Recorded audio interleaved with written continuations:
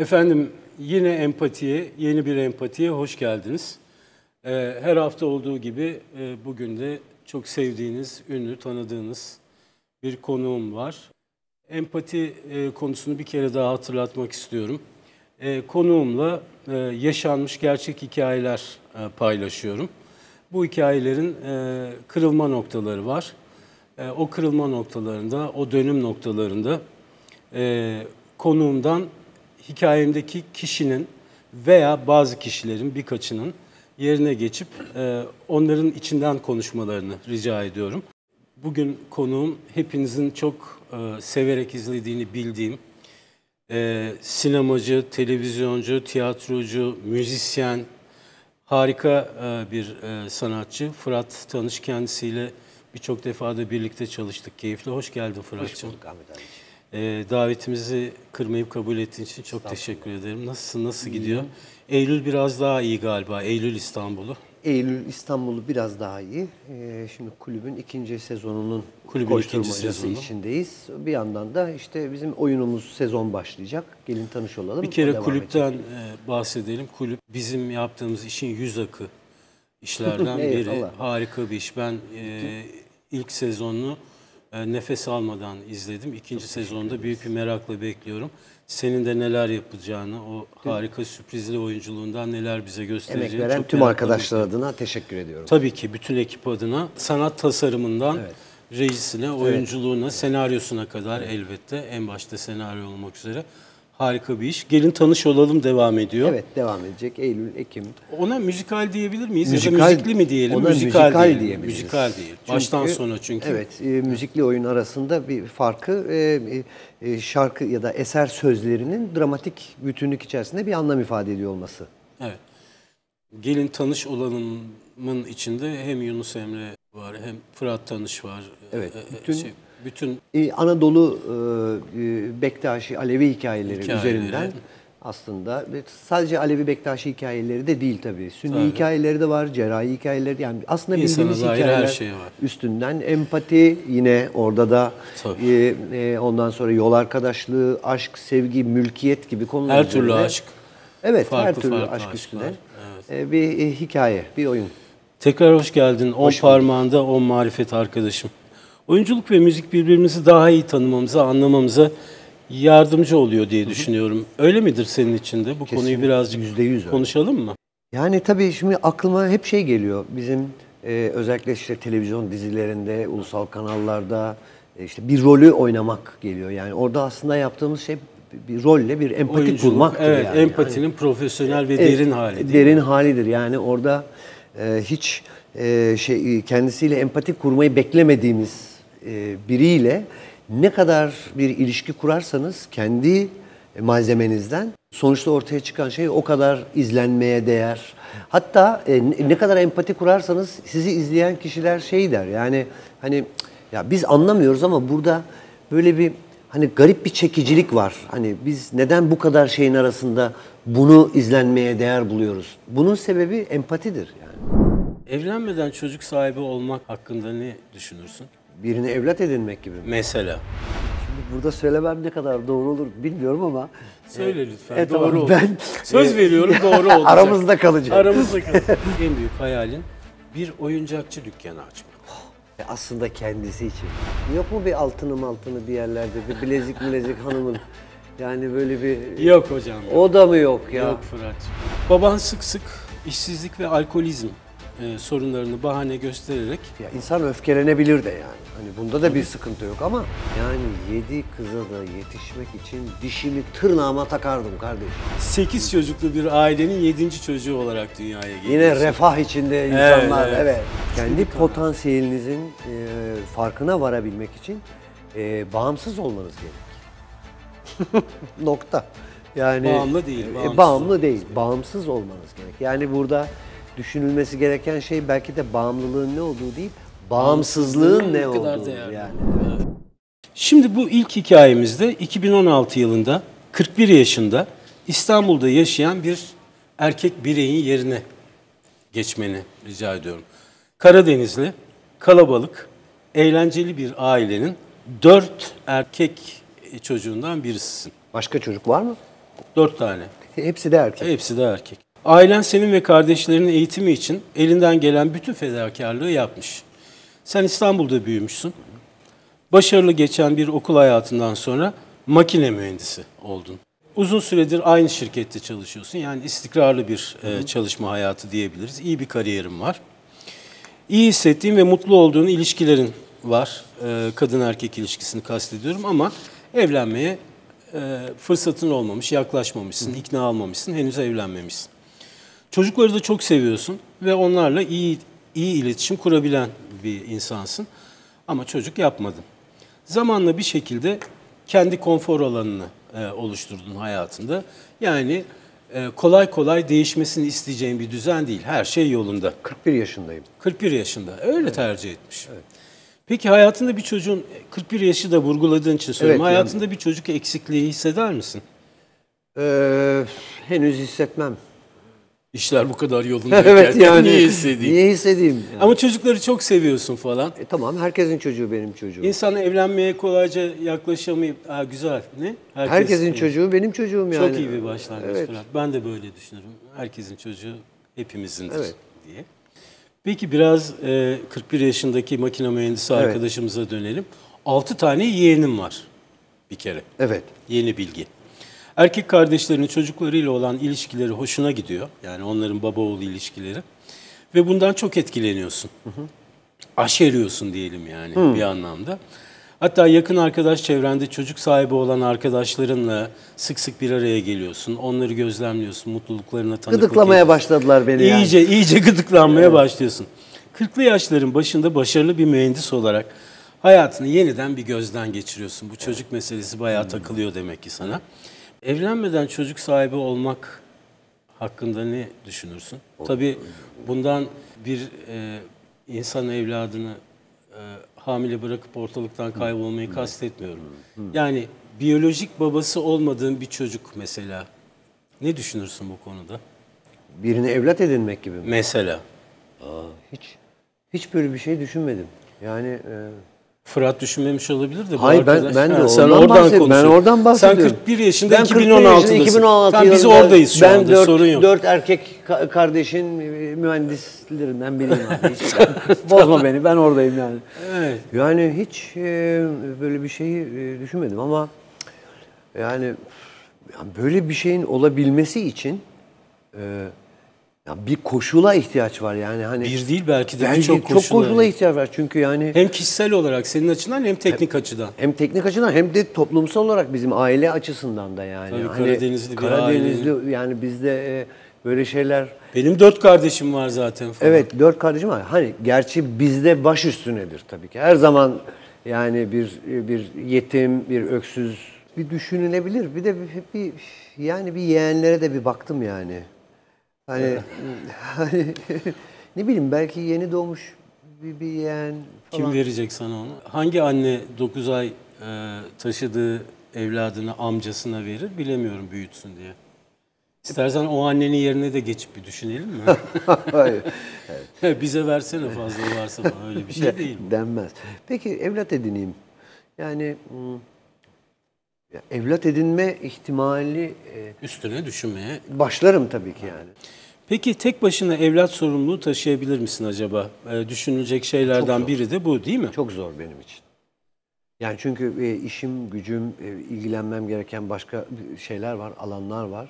O yüzden bir, bir, bir, bir el kadar bir bebeği alsam, şimdi ona benim anam babam acaba bakar mı diye düşünüyorum. Bakarlar herhalde, sorarım ya bir onlara. Bir, e, bir, bir Çocuğu sen alacaksın annem babam mı bakacak? anladım da. Yani şimdi ben almışım bir yaşında bir bebeği. Ondan sonra e, daha e, ben çalıştığım yer, Bir yaşında gittiğim yer- alman şart mı? Değil.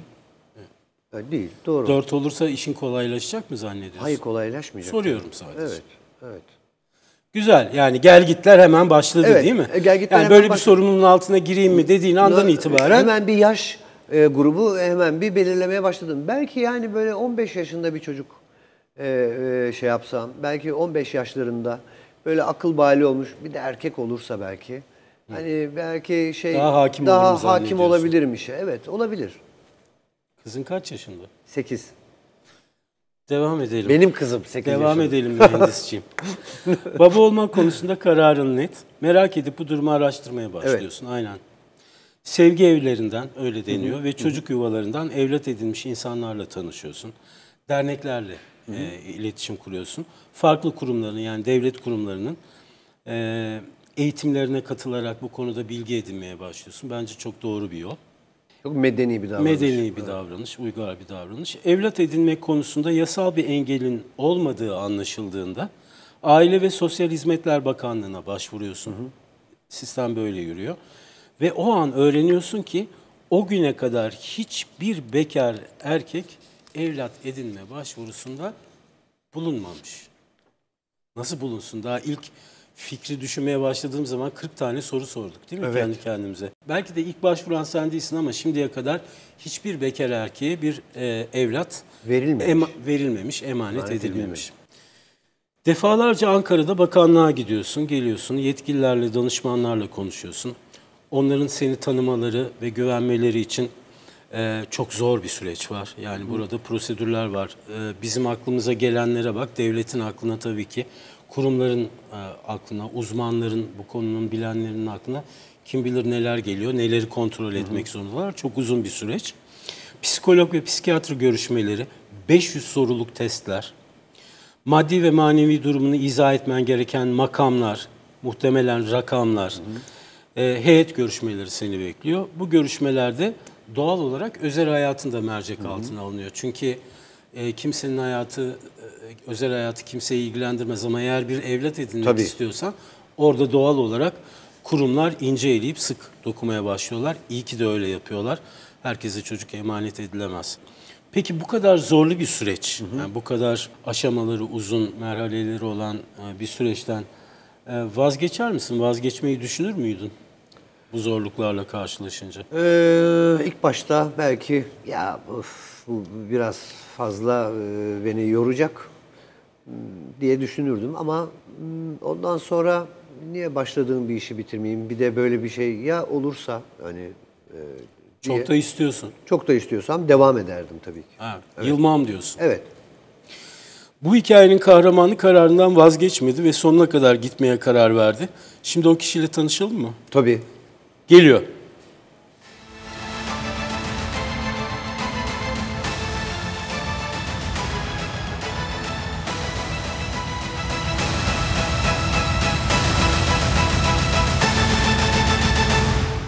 Süper. Serkan Özübek. Aa şahane. Serkan Özübek, bu tatlı adam, 8 ay süren bu zorlu süreç sonunda heyet karşısına çıkmış ve başvurusu kabul edilmiş. Durumunun herhangi bir engel teşkil etmediğine karar verilince de bekleme sırasına alınmış. Öyle hemen yani ertesi günde olmuyor bu işler. Senin uygunluğun onaylandıktan sonra sana uygun olan e, bir evlat için de gene beklemen e, gerekiyor. İlk karar verildikten tam iki yıl sonra 2018'de oğluna kavuşmuş. Ee, o aynı zamanda Türkiye'de evlat edinmeyi başarmış olan ilk bekar erkek e, oluyor. Şimdi o çocuk yuvasının müdürünün odasındaki koltukta Serkan'ın yerine tekrar otur. Kavuşma anı gelmiş ve çok heyecanlısın. Bütün zorlukları geride bırakmışsın. Bütün prosedürleri atlamışsın, halletmişsin. Kapı açılıyor ve iki yaşında kocaman gözlerle sana bakan evlatla karşılaşıyorsun. O an ne hissedersin? Çok heyecanlanırdım. Değil mi? Çok. Bütün hayatını sana e, senden alacağı bakıma bağlamış biri yani. Çok çok büyük ve çok önemli bir karar. yani. Acayip bir Çok, sorumluluk değil çok. mi? Ne biçim bir anlaşma? Bak Çok. bir şey söyleyeceğim. Evliliğe de benzemiyor. Evet. Evlilik bile değil mi? Evet. Bir anlaşmazlık olduğu zaman çözülemediği Yolları zaman eninde sonunda yolunu ayırabilirsin. Evlatla yol ayırmak diye bir Bu şey başka yok. bir şey yani. Bu çok başka bir anlaşma. Evet. Şimdi bir de burada resimlerini görünce de fotoğrafları. mi? evet. Ya çok yani çok Çok. çok herhalde gözlerim dolardı. Böyle e, adını sorardım. Bir- önce kendi adını söylerdim. Ondan sonra onun adını sorardım. O da bir cevap verirdi. Peki acaba onu sevememekten, sahip çıkamamaktan korkar mıydın? Karşılaşma anı biraz daha derin olur değil mi? Bence bugüne kadar çok düşündün bu işleri. Çünkü Ama o an çok büyük bir şey bu yani. piyango ya. Meydan Ya okuma. Garip de bir şey yani çünkü ne olduğunu bi- bilmiyoruz. O da bilmiyor, sen de O bilmiyorsun. da bilmiyor, sen de bilmiyorsun. Evet. Serkan Özübek Yani aile- özür dilerim. Hiç Tabii, böyle tabii, gidip de lütfen. bir kuruma başvurmaya falan benzemediğini görürdüm. bunu. Evet, evet. Yani gerçekten orada bir prosedürler, sorular, Evet, araştırmalar, evet, evet. kendini kanıtlamaya, geçme. anlatmaya çalışmalar bitiyor Evet. ve o an o ve sen varsınız artık. Ve çok uzun yıllar sürecek bir yol arkadaşlığının ilk anları bunlar. çok büyülü bir an. Çok büyülü bir an. Evet. Serkan Özbek ailesinin de tam desteğini alarak yani ona sen değinmiştin. E, oğluyla yeni bir hayata başlıyor. İlk zamanlarda Serkan'ın annesi e, onlarla birlikte kalıyor. Ne şahane anneler var. Oğlunu Evet. yetiştirmiş. Şimdi de oğlanın oğlunu yetiştiriyor. Bizim aile yapımızda bu muazzam bir e, kolaylıktır aslında. Müthiş hayatı kolaylaştıran bir şey değil mi? Bazen bazı durumlarda sıkıntıya yol açabilen bir şey ama genel anlamda ölçüsü tutturulduğu zaman filan Böyle bir müthiş bir kolaylık. evet. Evet, o, o açıdan şanslı bir toplumuz. Evet. Çocuğun alışmasına da yardımcı olmuş böylelikle e, ne diyelim artık babaannesi. E, küçük çocuk kreşe başlıyor ve yeni arkadaşlar e, ediniyor. Hayatından memnun, mutlu. Serkan şimdi başka insanların da evlat edinmesi konusunda gönüllü olarak çalışıyormuş. Yani ilk bekar erkek olarak e, evlat edinmekle kalmamış. Bu prosedürün biraz daha yaygınlaşması, kolaylaşması, ulaşılabilir olması için çaba sarf etmeye başlamış. Peki şimdi e, Serkan'a değil ama Fırat'a sormak istiyorum. Evlat sahibi olmak için evlenmek ve biyolojik bağ sence şart mı? Şart değil. Değil değil mi? Elbette. Bu örnekte de çok açık. Ayrıca bir- yani bir, bir insanlara aile demek için de illa ya diğer taraftan bakıldığında da yani insanın ailesi de kendi bağından, kan bağından olmayan Değil mi? bambaşka bambaşka topluluklara da insan ailem diyebilir. Yani aidiyet bu anlamda çok ilginç bir şey ama burada tabii bakım verenle bakıma, bakım alan arasındaki ilişkinin kalitesi, niteliği bunlar çok önemli. Niteliği, yani. evet. Çok önemli. Özellikle niteliği çok Evet. önemli. Ben çocuğumla 5 saat günde vakit geçiriyorum diyor. Yani 5 saat kendi seyrettiğim filmin maçın yanına çocuğu çekerek ve onun kuru yemişinden otlanarak bakılmıyor yani bu işler. Peki biraz önce şey demiştin. Belki 15 yaşında bir erkek çocuk çok iyi olur. Emin misin hala? 2 yaşında bir Hayır, erkek... değilim, değilim, değilim. Evet, onu bir Hayır, değerlendirelim değil, hayır, istersen. hayır. Bu başka bir şey yani. Bu, bu bambaşka bir şey. çok daha e, birlikte büyü yani e, senin yanında büyümesi, işte belirgin prensipleri, evrensel değerleri ilk senden alması Evet. muhtemelen daha kolay. Bu 15 yaşında bir insanın bir şey öğrenemeyeceği anlamına Ama gelmiyor gelmiyor, tabii elbette. ki. Ama yani orada bir miktar oluşmuş bir personanın belki arızalarıyla, eksikleriyle, fazlalarıyla neyse e, meşgul olmak yerine ki o da bence e, ulvi bir şey.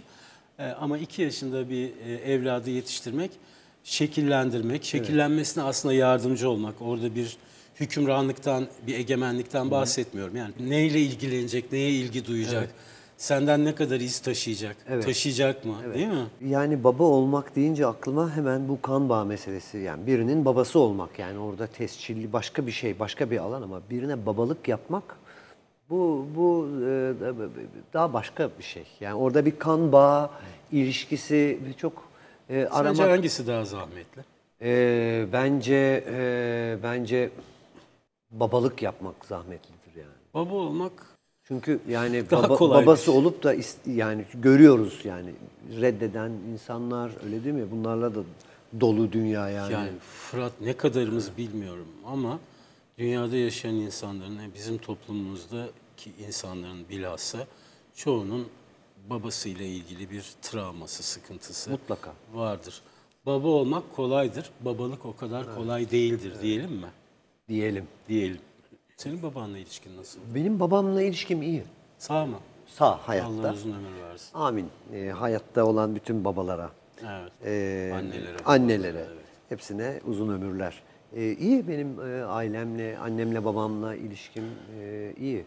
Ama bu gerçekten şey konusu, e, yani insanın aile dediği şeyin illaki kendi kan bağından olan insanlar topluluğu olmam, ol- olmak zorunda olmayışı yani. Hani Evet, bu, bu bu e, önemli bir şey. Kızının adı? Zeynep. Zeynep. Benimki de Ayşe biliyorsun. Ayşe, Zeynep. Böyle isimlere bayılıyorum. Zeynep'le aranız nasıl? Zeynep'le aram gayet iyi. Birlikte geçirdiğiniz vaktin niteliğinden bahsedebiliriz. Birlikte yaptığımız- Sen neşeli de bir babasın. Müzik var, Tabii enstrüman canım var. ben e, soytarının tekiyim yani. Evet. Tabii Hepimiz ki. çocuklarımızın soytarısıyız. Öyle de olmalıyız zaten. E, biz ne yapıyoruz? Bir şeyler çalıp söylüyoruz. Zeynep şarkı uydurmaya, besteler yapmaya falan çok meraklı böyle. Genetik yatkınlık. Yani aslında bütün çocukların içinde Anneciği olan de yatkın şey. mıdır? Anne de yatkın. yatkın. Evet. Ee, yani bir- bütün çocuklar böyle bir şey yatkın da biz bunları bu- şeyleri hasletleri büyüdükçe e, e, kaybediyoruz. Aman öyle yapma, ayıptır, günahtır. Biz her şeyi bilerek doğuyoruz. Sonra öğreterek Evet. unutturuyorlar değil mi? Evet, maalesef öyle oluyor. Bir de ağaçların tepesinde dolaşmaya çok müsait bir arkadaşımız. Müsaade ediyorsun. Yani böyle Tedbirli bir şekilde. ip şeyleri var, kampları var. Oralara. Oralara gidiyoruz, oralarda enerjimizi atıyoruz. Babanla da gider miydiniz bir yerlere? Yani e, yok babamla e, giderdik ya. Şimdi Ne iş düşününce benim Dede? babam terzi. Süper. Evet annem ve babam terzidir. Kendi söküğünü dikebiliyor muydu? Diker, diker. Başka sökükleri de diker. Diker yani onun e, eli çok uzdur. eli, Yani babanın çok söküklerinden biri değilsin. Değilimdir. İyi güzel. E, Babamla e, mesela şeye e, e, İstanbul'daki o eski plajlara gittiğimizi ben çok Aa. hatırlarım. İşte Kartal, Küçük Yalı, Çamlık, Süreyya Belki Paşa moda. falan. E, efendim? Moda belki. E, modaya babamla hiç gitmedik Salacak. ama e, yok oralara da gitmedik ama biz daha çok Cevizli Kartal hattında yani o, o o bölgede e, şey yapardık yani. Kendi otorite alanımızda Yani böyle, e, böyle, e, elinden tutup e, şeydeki Rahmanlardaki e, bostanın içinden geçip domatesler falan bir işte bir peynirle birlikte hemen bostanın bitim yerindeki kumsaldan denize girdiğimizi falan çok hatırlarım. Demiryolu kampına. Hem falan. karnımızı doyururuz. Evet ya çok. Demiryolu kampı. Evet, Ne tabii. güzel. Bir de 2002 yılında yürürlüğe giren bir kanundan hazır e, fırsat bulmuşken bahsedelim. E, evlat edinmek için artık evli olmak şartı aranmıyor. E, 2002'de bu e, kanun yürürlüğe girmiş. Bu da sevindirici bir şey. Bravo. Bence de E, çünkü yalnız insanların da sağlıklı bir şekilde erkek ya da kadın bunu uzmanlara, yetkililere anlatmayı başarmış, ikna etmiş kişilerin de evlat edinmesinin kolaylaştırılması çok mantıklı, doğru bir şey. E, şartları ve sağlığı uygun her birey çocuk evlerinde bir yuva bekleyen yaklaşık 15 bin e, çocuğa annelik babalık yapabilirler. Evlat edinmek sadece bir çocuğun hayatını değil, onunla birlikte gelişecek bir neslin e, geleceğini de değiştirir. Dahası bence anneyi, babayı hangisi ise ya da ikisi birliktelerse onları da değiştirip dönüştürecek e, bir şey. Bir çocuk e, dünyaya bedeldir. Doğru mu?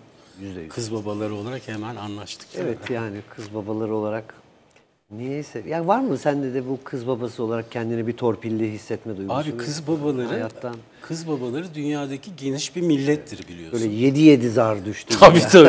Öyle Tabii, bir tabii. durum var mı? Tabii var. Evet. Tek Var, değilmişim olmaz yani. Çok övünüyoruz. İki kız babası da çenemizden geçilmez. Hemen ikinci hikayeye geçelim. Oğlan Evet. babalarını, annelerini bozmayalım. 41 yaşında İstanbul'da yaşayan bir erkek bireyin yerine geçmeni rica ediyorum. Evlenmeden çocuk sahibi olmak hakkında ne düşünürsün? Hiç böyle bir şey düşünmedim. Ya böyle bir şeyin olabilmesi için ya bir koşula ihtiyaç var yani. Peki tek başına evlat sorumluluğu taşıyabilir misin acaba? Ee, düşünülecek şeylerden biri de bu değil mi? Çok zor benim için. Evlat edinmek konusunda yasal bir engelin olmadığı anlaşıldığında Aile ve Sosyal Hizmetler Bakanlığı'na başvuruyorsun ve o an öğreniyorsun ki o güne kadar hiçbir bekar erkek evlat edinme başvurusunda bulunmamış. Bütün hayatını sana e, senden alacağı bakıma bağlamış biri yani. Çok çok büyük ve çok önemli bir karar. Acayip bir Çok, sorumluluk değil çok. mi? Önceki hikayemizdeki baba çocuk e, sevgisi ve hasreti sayesinde evlat edinerek e, hem kendi hem de çocuğunun hayatını olumlu yönde değiştirdi. Bunu gördük. Çocukların ve bizim mutlu olduğumuz anlar vardır. Ama sanırım bizi en çok bir başka insan mutlu edebilir diye düşünüyorum. İkinci hikayemizde mutlu etmekle, koşulsuz iyilikle e, ilgili. Hazırsan başlayalım. Evet. Çocukken çok mutlu olduğun bir anı hatırlıyor musun? Böyle çok e, hep kafanda bu kıl soru sorulduğu zaman Evet. canlanan bir anı var, mı? Var tabii. Bostan içinden babayla domates toplayarak denize gitmek de az şey değil Ama tabii yani ama. yine de böyle bir e, şey yolculuğa çıkmadan önce, şehirler arası tren yolculuklarına çıkmadan önce ben çok mutlu olurdum yani böyle nefis. E, Hep o Yol şey- seviyorsun. Evet ya trenle yolculuk müthiş keyifli geliyordu. Bana hala da öyle geliyor yani. Tren yolculuğu zaten Ya, çok büyük. tren yolculuğu bir şey. muazzam bir şey yani. Sabırlı olmayı öğretir, beklemeyi öğretir. Evet. Bir de yani bir de Ninnisi vardır tıkır tıkır. evet e, bir de bir şey kullanmazsınız. Evet. E, ve Bütün aile bir- serbest, Evet, bir tanık olursunuz yani. Otobüsteki gibi bir nizami diziliş bir falan diziliş da yok. yoktur. Yemekli vagonu vardır. Gidersin, oturursun, uyursun, yatarsın, Çıkar koridorda dolanırsın, dolanırsın, koşturursun. yürürsün. Evet. Çocuk için galiba bir oyun evi gibi bir şey. Çok acayip tabii. Çok acayip. Şimdi burada söylemem ne kadar doğru olur bilmiyorum ama Söyle lütfen. Evet, doğru tamam. Ben- Söz e, veriyorum doğru olacak. aramızda kalacak. Aramızda kalacak. böyle tre- e, tren trenlerin en arka vagonlarında e, böyle tavuk ızgara yapan, kapıyı da açıp ya çok enteresan bir manzara yani böyle bütün dumanı Bunu yolcular mı yapıyor e, yoksa? yolcular değil de bunu daha çok oradaki personel falan Kapıyı da açmış çok işte. matrak bir hikaye. yani Evet, böyle. güzel. Onlardan çimlendiğin oluyordu herhalde. Ee, yani- Çocuk gelince vermezler mi? Yani böyle Verirler. çok malzeme var orada. Benim abim de böyle bir ara demir yolcu olduğu için bizim sülale. Öyle mi abi? Tabii Demir tabii. yolcu. Ee, Demir yolculuk bizde şey atasporu. He, iyi yerden girmişiz. Peki e, hikayemizde 30'lu yaşların e, sonunda Antalya'nın Serik ilçesinde Serik'i bilir misin? Evet. Serik ilçesinde yaşayan birinin e, yerine geçmeni. 30 yaşındayım. Rica- 30 Hop, yaşındasın. yaş küçüldü. Hadi hadi gene iyisin. Eyvallah bana. Sen 75'liydin. E, bana 17 yıl hediye etti. Aynen. Ee, ancak önce biraz geçmişe dönelim. Bak 16 çocuklu bir ailenin 14. erkek çocuğusun. Annem ve babam farklı dönemlerde 8 çocuklarını e, doğumdan kısa bir süre sonra kaybetmişler. Yine de çok cesurlar yani. Kaybettiklerine bak sayı zaten 16 falan. Dar gelirli bir ailede doğal olarak yokluklara katlanarak büyüyorsunuz hepiniz. Çocukluğunuzda oyuncaksız geçiyor. Yani 8 çocuğa oyuncak herhalde imkansız bir şeydir. Ee, Kendi oyuncağımı yaparım ya. ha. Yani Yani 8 kardeşim var, hiç oyuncağınız yok. Sana ne hissettirir bu? yani e, Ha, bir travma yaratır mı hani bu? O kalabalıkta travma olmaz da yani o kadar evet yani travmaya bir yer yok. eksiklik bir şey evet. Yani e, evde travmaya yer yok. Ama Ev çok sıkışık, travma Tabii, almaz diyorsun. Tabii yani. ki almaz. Ama her şeyde oyuncak olabilir. Ee, işte yani bir çay, çay kaşığı verirsin, çocuk dünyalar kurar yani orada. Dünyayı verirsin, işi olmaz da bir Evet, çay evet kaşığıyla yani bir hafta geçirir. Oradan Çocuklar bir hafta öyledir. geçiririz yani. Evet. Ama yani evet bir başkasının e, çoluğun çocuğun elinde böyle oyuncak görmüş olmak evet yani bir eziklik yaratabilir böyle bir üzüntü yaratabilir evet. Ya bir kere hiçbir zaman sahip olamayacağını bilme duygusu zor bir şey. Evet. Onun sadece eksikliği değil de hiç olmayacak gibi bir Evet. şey biraz değil mi? Sokağa çıktığında oyuncak mağazalarının, oyuncakçıların önünde uzun uzun vitrinleri izliyorsun filan. Oynamak istediğin oyuncaklara bakıp hayaller kuruyorsun, çocuksun. Kardeşlerin gibi sen de genç yaşta küçük işlerde çalışmak zorunda kalıyorsun. Kazandığın paranın tümü geçim için aileye e, veriliyor. E, bir oyuncağa kendi emeğine bile ulaşma. Öyle Bu çocuk- nasıl bir çocukluk bir oldu? kısmımızın çocukluğudur bu. Sadece bir kişinin değil, bir çoğumuzun böyleydi. Ee, peki çalışmak zorunda kalmak o kadar küçük yaşta hayal kurma güdünü iyi diş eder mi acaba? Hayal kurabilir misin hala? Yani tabii o, o Oyun kafaya yok, oyuncak yok, öyle bir vakit yok. Çalışıyorsun, eve Yani- ekmek götürüyorsun parmak kadarken. çok öyle hayal kurmaya zaman yok yani. Çünkü sabahtan çıkıyorsun evden muhtemel. Ee, o yıllarda yaşadığınız Ankara'dan ayrılarak daha iyi şartlarda yaşamak için Antalya'ya geliyorsun. Demek ki arada yani Serik'ten çıktın 30 yaşındasın gitmişsin de falan. Ee, Antalya'ya geliyorsun. Orada çalışmaya devam ediyorsun. Bir süre sonra da uygun bir e, insan işte evleniyorsunuz. Bir aile kuruyorsunuz. İki de çocuğunuz oluyor. Onları okutup iyi bir gelecek sağlamak için elinden gelen her şeyi yapıyorsun. en büyük hassasiyetin doğal olarak kendi evlatların dahil bütün çocukların mutlu olması. Evet. Ee, bir travması var mıydı bilmiyoruz ama oradan bir motivasyon çıkartmışsın Evet. kendine. Artık en büyük hayalin bir oyuncakçı dükkanı açmak. Böyle bir karar alıyor. E aslında kendisi için. Ya ben kendim için. Kim bilir, belki de. Tabii ki. Belki- yani. tabii. Eğer de, e, yani öyle midir Çok acaba? Önce şey- kendi mi Tabii oynayacak ya, diyorsun? Önce ben oynayacağım onlarla. Ya insan insan Çünkü o çocuk yani şey olmadan, doymadan yani mümkün, İçindeki ya çocuk. mümkün değil yani o bir yerlerden. doyar mı sence ya? Çok geç değil mi? Yani e, değil. Ya mesela yok mu işte e, bütün ömrü boyunca işiyle gücüyle şey olmak zorunda kalıp da mesela hayatında hiç böyle eline alıp da bir sazı çalmaya vakti olmamış adam emekli olduktan sonra kendini koştur koştur öyle. kurslara atıyor yani. Hani mümkün değil yani bu. Eğer o ne kadar bastırılırsa bence son derece sağlıklı bir şey yapıyorum. Peki oyuncakçı dükkanına dönelim. Evet döndüm. Ee, Ay çok dostum. güzelmiş orası. Evet. Hiç çıkmam oradan. Bu hayalini gerçekleştirmek için ne yaparsın? Önce dur bu daha dükkanı açmadık ki. Hmm. Ne, ne mi yapar? Önce bir, bir yer kiralamak lazım şimdi. Bir dükkan tutmak lazım. Ondan sonra e, ondan sonra bir sermayeye ihtiyaç lazım. Bunların hemen hemen hiçbiri yok. Yani durumu anlattım ya sana. Ankara'da tutunamayıp dönmek falan.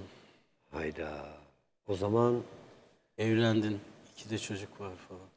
yok mu bir altını altını bir yerlerde bir bilezik bilezik hanımın yani böyle bir Yok hocam yok. o da mı yok ya? Yok Fırat'cığım yok. E, o zaman e, hiç Yok, birikmiş yoka bir şey. kurulmuş her şey. Ay, hadi bakalım. Hayalini tam olarak gerçekleştiremiyorsun. Evet. Antalya Serik'te küçük bir tezgah açarak çocuklara şeker ve balon satıyorsun. Tamam. Zamanla bölgenin en tanınan, en sevilen yüzü oluyorsun. Kazancınla hem kendi çocuklarına oyuncaklar alıyor hem de bayram ve kandillerde imkanı olmayan çocuklara balon ve şekerler hediye ediyorsun. Gün geçtikçe mesleğini, evet balonculuk Evet. mesleğini daha çok seviyor ve bu işi tam 20 yıl boyunca aralıksız sürdürüyorsun. Of. Peki bu durumda hayallerine biraz yaklaştığını söyleyebilir misin? Yüzde yüz. Yüzde yüz değil mi? Tabii ki. Biraz değil, çok daha fazla. Tabii. Tabii. Sö- Söylenmez mi ya? Balon. Balon işi. Ufukta dükkan görünmüş müdür? Ufukta dükkan görünmüştür yani. 20 sene Balon olmuş sata ama sata, yani. Evet. Şeker sata sata. Tabii tabii. Bir bayram arifesinde mezarlık etrafında çocuklara ücretsiz balon dağıtırken bir kadın yanına geliyor İşte o. ve çocuğu için bir balon e, almak istiyor. Çocuğu getirince balonu verebileceğini söylüyorsun. Ücretsiz dağıtıyorsun ya. Çocuğu görmek istiyorsun. Evet. Ancak kadın çocuğu getiremeyeceğini söylüyor. Sen de çocuğu görmeden balonu veremeyeceğini tekrar ediyorsun. Bunun üzerine kadın çocuğunun gelemeyeceğini çünkü mezarda olduğunu söylüyor. Çok üzülüyorsun. Kadın ziyarete gelmiş. Kahroldum. Ha, Kahroldum.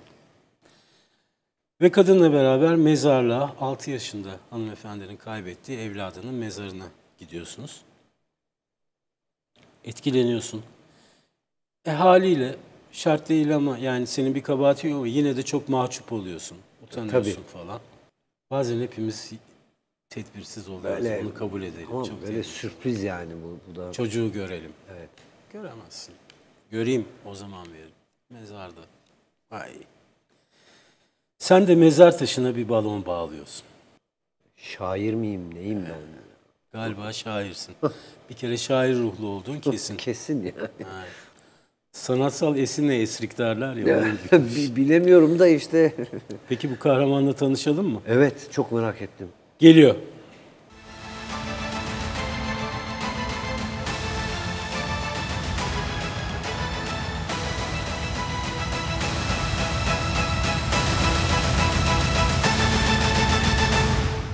Bu şairane e, baloncunun adı Sait Kocatepe. Sait Bey o balonu o mezar taşına bağladığı gece hiç uyumamış dostum. Yani hiç uyumadın sen.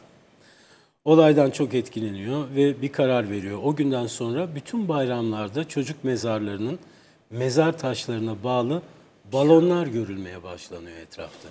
Her birine gidiyor. İnanılmaz Her bir birine. yani. Müthiş. Mezarlara karanfiller filan bırakıyor. Sait Kocatepe hala bugün sokaklarda ve mezarlıkta çocuklara şeker ve balon hediye eden bir kardeşimiz. Ayrıca parklarda dar gelirli ailelerin çocuklarına istedikleri takdirde ücretsiz balon dağıtıyormuş. Ne ne ne hikayeler. Ee, Sait Kocatepe bir oyuncakçı dükkanı açamadı. Ee, hala açamadı.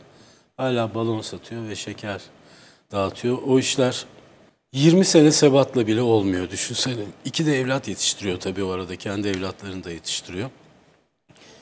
Ee, ama mübarek bir arkadaşımız. Şimdi Fırat'a soruyorum. Evet. Bir şekerle, bir balonla bir çocuğu mutlu etmek mümkün müdür? Mümkün olmaz mı tabii ki yani? Tabii elbette ki mümkün. Yani e, onlar için e, mutluluğun e, şeyi hani ko- koşulları böyle çok e, lüks bir, bir dünya değil yani. Çok basit şeyler. Hep şaşırmaya hazırlar değil Evet, mi? evet. Gülmeye hazırlar. Evet, her Ee, zaman. Bir küçük tersten okuma onlar için yetiyor Evet. neşelendirmek için her zaman. Çocukluğunda çok oyuncağın var mıydı? Üç numarasın. Hayır, kadarıyla. yoktu. Yoktu değil mi? Tabii yani e, hep kendi oyuncağını kendi yapan bir e, şeydim. Biz evin arka tarafında bir tane pasaj vardı. Pasajın içinde bir tane saatçi e, vardı ve bu saatçi bütün malzemelerini evin arkasındaki bir yere atar. Ben de sürekli oraya gidip o Kurcala- saat parçalarıyla falan oynardım. Atık mı onlar? Atıktı tabii canım. Yani atık malzemeden çok oyuncak yapardık yani. Oyuncaksız bir çocuk kendini ne kadar e- eksik hisseder sence? Yani e, şimdi bu çok şey şey bir durum.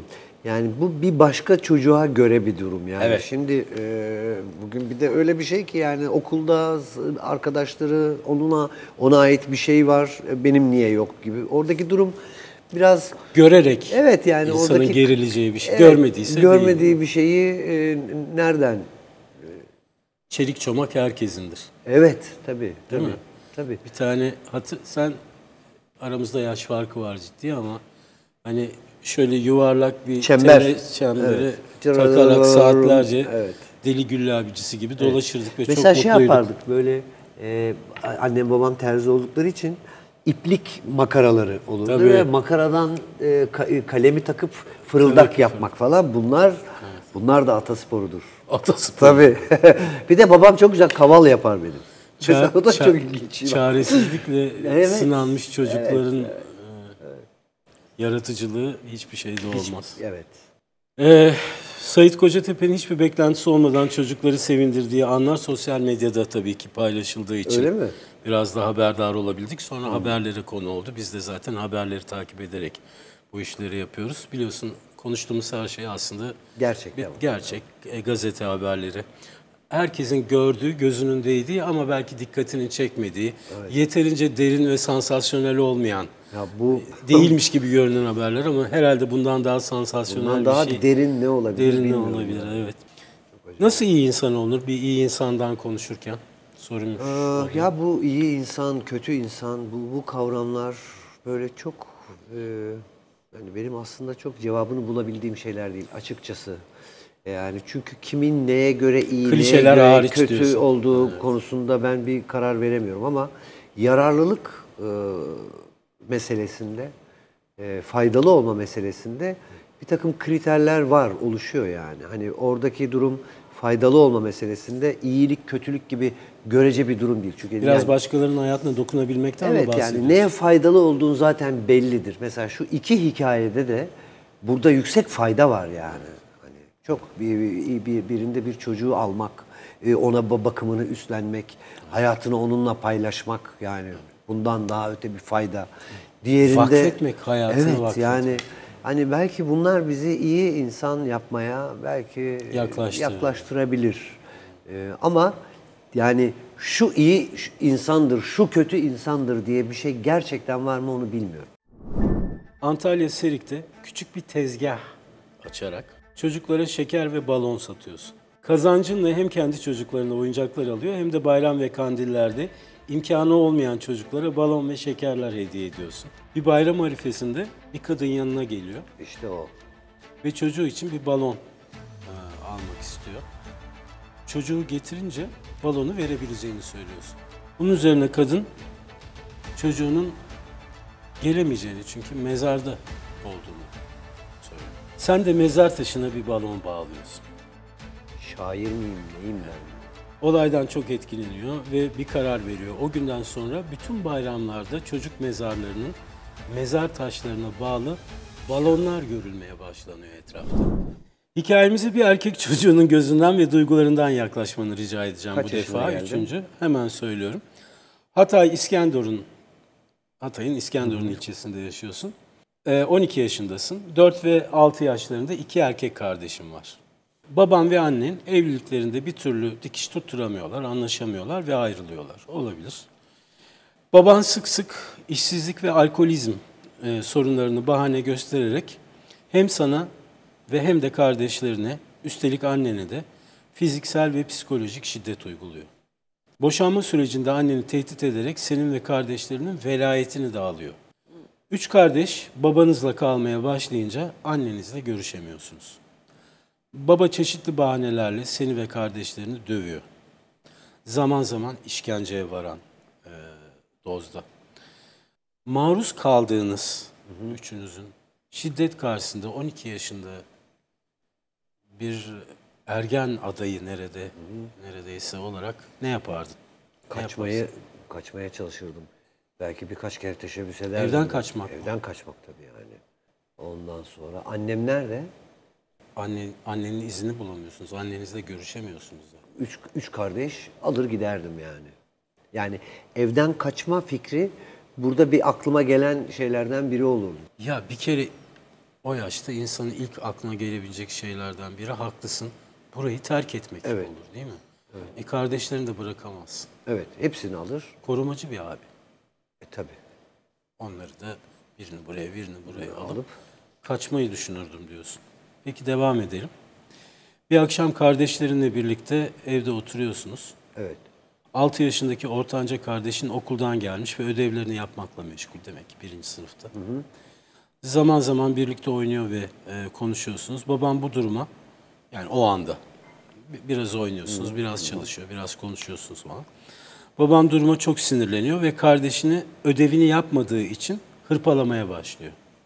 Sonra öfkesini alamayarak elektrik süpürgesinin demir sopasıyla üst üste 6 yaşındaki kardeşine vurmaya başlıyor. Baban kardeşine şiddet uygularken onu durdurur musun? Bu durumda ya da başkalarından yardım ister misin? Ne yapardın? Bir şey fırlatırdım ona ya. Alır bir şeyi fırlatırdım herhalde yani. Durdurur muydu sence? Durdurmaya, dur, dur- yüzde yüz durdurmazdı tabii ki yani. Tabii dediğim gibi şimdi karanlıklar yavaş yavaş açıldığı için o evin içinde ne var ne yok bilmiyorum yani ama e, Senin cevaplarını sevdiğimi söylemeliyim. Kaçardım, onları da alır kaçardım, Evet. bir şey fırlatırdım. Evet. yani 12 yaşında olduğun kesin. evet Devam et. yani bö- böyle şeyler yapardım.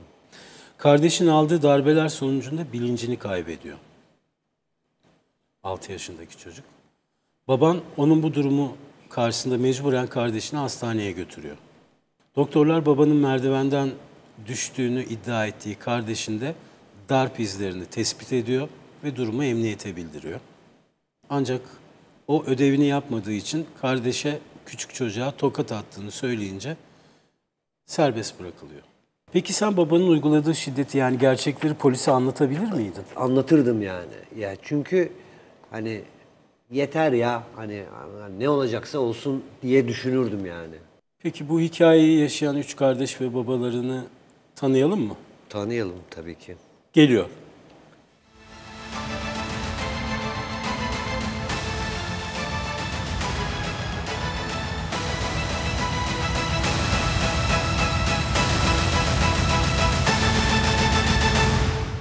İsimlerini vermeyeceğiz. Ne babanın ne çocukların bu travmayı tazelememek üzere tahmin edeceğin gibi. Ortanca kardeş maruz kaldığı şiddetten dolayı ağır yaralanıyor ve dört günlük mücadelesini kaybederek maalesef hayatını da yitiriyor. Polis hayatını kaybeden çocuğun süpürge borusuyla darp edildiğini tespit edince baba yeniden gözaltına alınıyor. İfadesinde pişman olduğunu ve korktuğu için gerçeği sakladığını söylüyor. Fakat yine de tabii ki doğal olarak tutuklanarak cezaevine gönderiliyor. Şimdi tekrar soruyorum. kardeşinin hayatını kaybedeceğini en baştan bilseydin ne yapardın ki sen zaten baştan biraz radikal e, şeyler Evet. düşünmüştün. Yardım istemek için çıkabilirdim dışarı. Muhtemelen engel olabilecek hiçbir şey yapamazdın ama her şeyi denerdin. Yani ne yapabilirsin yani? Hani işte ne diyorum en son tepesine çıkıp hani onu durdurmak için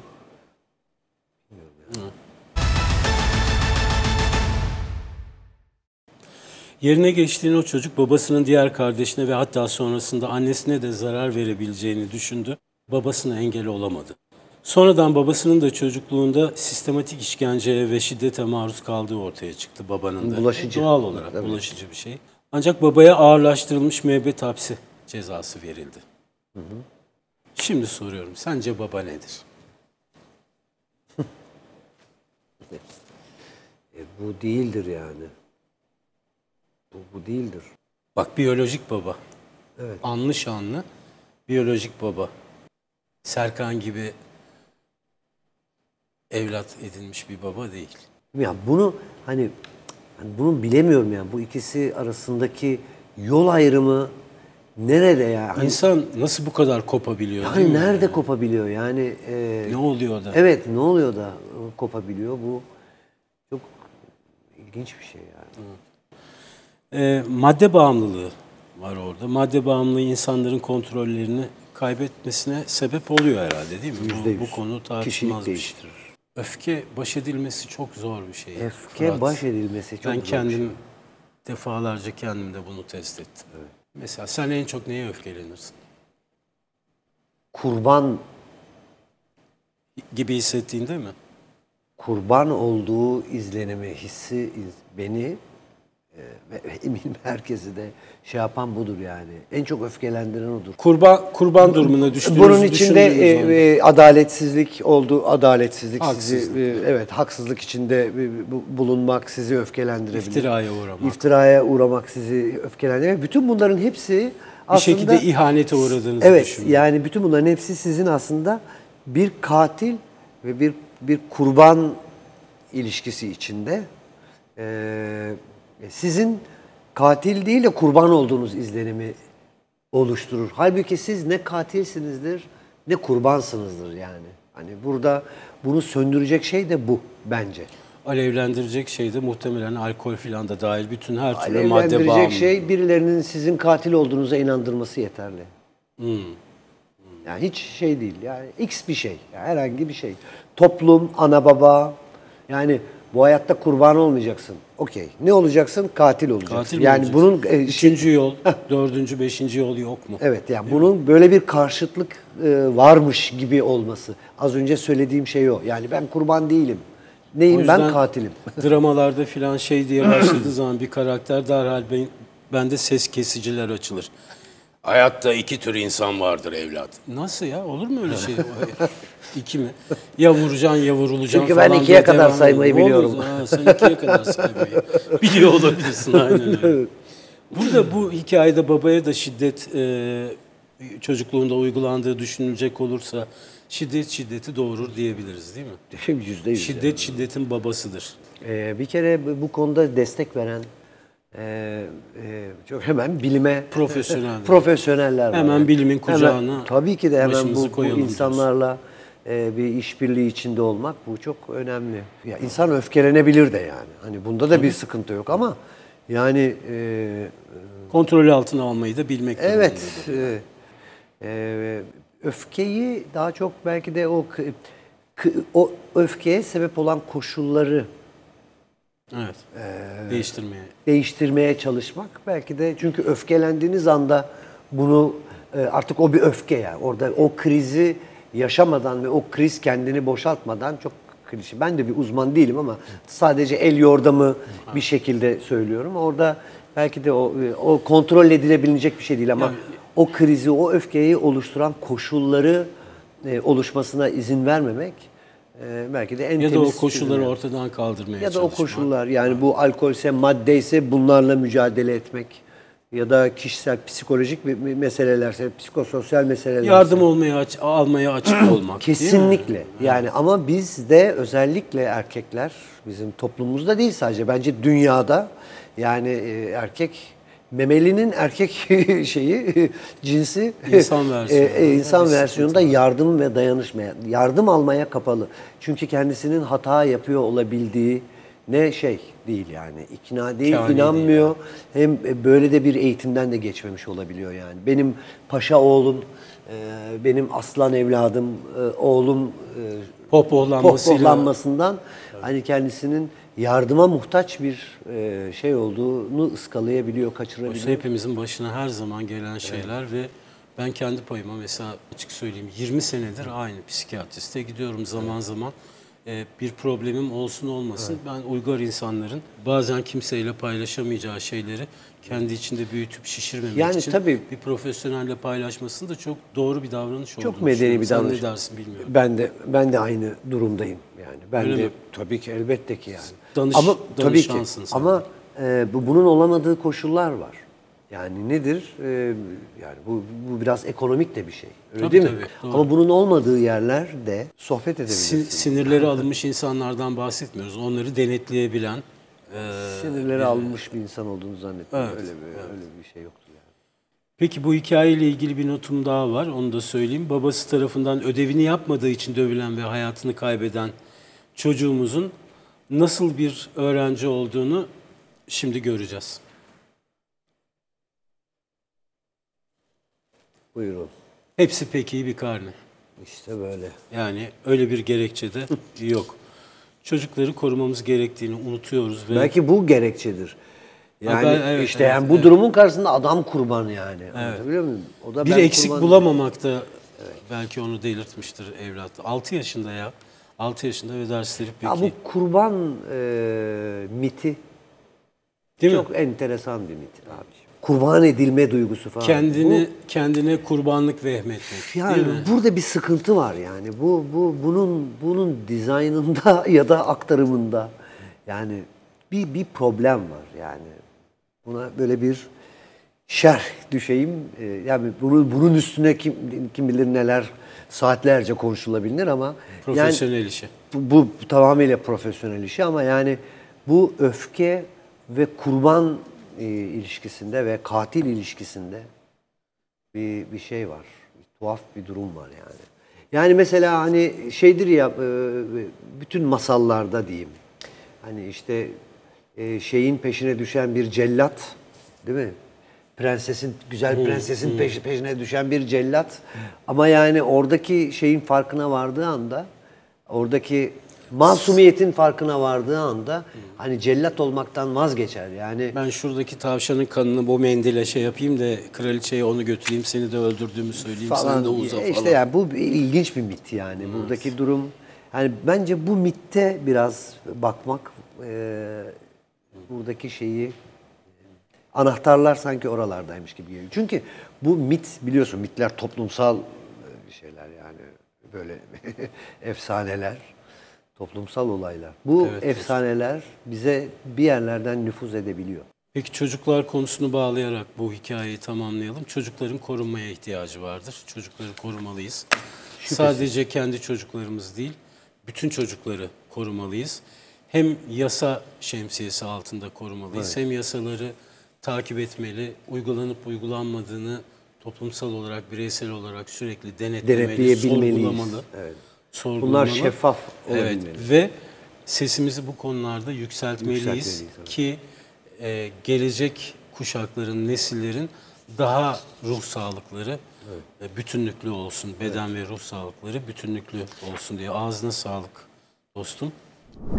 Baban ve annen evliliklerinde bir türlü dikiş tutturamıyorlar, anlaşamıyorlar ve ayrılıyorlar. Boşanma sürecinde anneni tehdit ederek senin ve kardeşlerinin velayetini de alıyor. Baba çeşitli bahanelerle seni ve kardeşlerini dövüyor. Zaman zaman işkenceye varan dozda. Maruz kaldığınız şiddet karşısında 12 yaşında ne yapardın? Kaçmaya çalışırdım. Üç kardeş alır giderdim yani. Kardeşini ödevini yapmadığı için hırpalamaya başlıyor. Bir şey fırlatırdım ona ya. Kardeşin aldığı darbeler sonucunda bilincini kaybediyor. Ve dört günlük mücadelesini kaybederek maalesef hayatını da yitiriyor. Şimdi soruyorum, sence baba nedir? E, bu değildir yani. Bu, bu değildir. Yeni bir hikaye, Yeni dördüncü, hikaye. dördüncü Evet. hikayemizdeyiz. Bakalım ne didikleyeceğiz. Her anne babanın en büyük amacı ve isteği mutlu, başarılı çocuklar yetiştirmektir. Umarım her annenin öyledir babanın. Ee, peki Güzel kendi motivasyon. güzel motivasyon. Peki kendi kendine yetebilen başarılı bir çocuk yetiştirmek için neler yapılabilir? Biraz bunun üstüne konuşalım istiyorum. Bugün senin gibi sadece bir oyuncu olarak değil ama şimdi oradan bakalım. Başarılı bir oyuncu olman, başarılı bir müzisyen olman. Ee, ailenin rolü nedir burada? Ee, Fırat'a soruyorum. Böyle öne açılmış bir durum var tabii orada. Yani e, böyle engel olunmamış. Ondan sonra e, yani böyle bir e, yasaklanmamış diyeyim ben sana yani. Böyle bir şey bu kesinlikle yasaktır denmemiş bir bir e, şey var, bir ev var orada. E, belki e, kendi içlerinde kalmış bir şey de olabilir bu ha. Yani böyle mesela annem resim yapıyor şimdi böyle bir kenardan kenardan. İşte babam hep kaval yapar, bir şey yapar, bir, bir, bir- böyle bir söylermiş bir şeyler e, eskiden. Evde kaval yapan bir baba. yani evet. Anladım. Ee, Sana da yapmış mıydı? Kendine mi yapıyor? Hepinize mi yapıyor? tabii tabii yapar canım yani işte şimdi Şey, ka- ka- kamıştan kesip kamıştan kesip hülülü hülülü Evet evet. yapar yani. Az şey değil ha. Tabii canım. Sen ne diyorsun? Tabii. Oyuncağın var mıydı? Ha işte. Enstrümanın bile varmış. Evet, tabii. E, belki böyle bir şey de yol açmış olabilir. Bunu hep düşünürüm. Böyle bir e, anaokulunda, e, anaokuluna gitmiş olmak, oradaki işte olabilir. çok bu- bunlar çok etkilemiştir yani. Bu hikayemiz Kars'ta geçiyor. Seni Kars'a Buyurun. götürüyorum dostum. Arpaçay ilçesinin bir köyünde çobanlık ve çiftçilik yapıyorsun. Yaşadığın köyün imkanları bir kasaba veya şehre göre doğal olarak çok sınırlı. Ve 7 kız çocuğu sahibi oluyorsun. 350 kat şans. yani %50 şans, yüzde 350 şans ediyor. %350 şans. Peki. Kısıtlı- Tabii bunu ben söylüyorum şimdi. Evet, evet. Bilemiyorum. 7 tane kız çocuğun olsun da bunu bir daha sorayım sana tekrar. Kısıtlı imkanlar içerisinde 7 çocuk babası olmak sana ne hissettirirdi? Bunu bunu bu, bu burayı düşünelim. Evet. Geleceği düşününce büyük şans da değil mi hangisinin evinde kalsam diye yani böyle. He? Hangisi değil mi yani öyle. Ee, ama yani yedi kıza da yetişmek için dişimi tırnağıma takardım kardeşim. Ya ne yapacaktın? Ya ne yapacaktım yani? Köyünüz epey küçük. Geçim sıkıntısı büyük. Ve eğitim imkanları çok kısıtlı. Sadece ilkokulu okuyabilmişsin. Sonrasında tarlada çalışmak zorunda kalmışsın. Evin geçimini çobanlık ve çiftçilik yaparak sağlamaya çalışıyorsun. Tabii çoğu zaman yetmiyor. Hiçbir zaman Hiçbir yetmiyor. zaman yetmez yani. E, eşin, e, eşin de ev işlerinde e, sana her konuda destek olmaya çalışıyor. Zaten o yedi kızı bir yandan sen yokken o büyütüyor. Bu yaşam şartları altında hal böyleyken kızların için nasıl bir hayat hayal edersin? Hayal kurabilir misin? Bir hayal kurabilirsen o ne olur? Yedi kız çocuğun var ve bunları büyüteceksin. Hani O imkansızlıklar içinde. Ee, şimdi burada kendimden çok şey yapamıyorum. Geldim. Uzaklaşamıyor Evet. musun? Hmm, Ya tuzaklara, tuzaklara düşmüyorum. Yok.